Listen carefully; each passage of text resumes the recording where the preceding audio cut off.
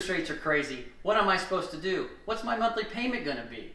That's a question I'm asked often today. This is Chris Smith, broker owner Remax Acclaim Properties, and we're, we're going to discuss interest rates versus purchase price and how that curve looks. If you look at my board here, I've got three interest rates down the side. 7.125 is the current going 30-year fixed rate interest rate on the market in Bloomington right now. 6.5 is where I think we're going to land sometime early next year. 5.9 is a rate that's available in our market if you know where to look. Give me a call and I can talk to you about that. So if you'll notice, 5.9% on a $200,000 borrow is 1186 bucks a month. If you notice, you drop the price 12.5 for 6.5, you have the same payment, and you drop 24,000, you have the same payment there for the 7.125. So negotiate your purchase price. Now is a great time to do that. Work to get the best interest rate, and we get your monthly payment down.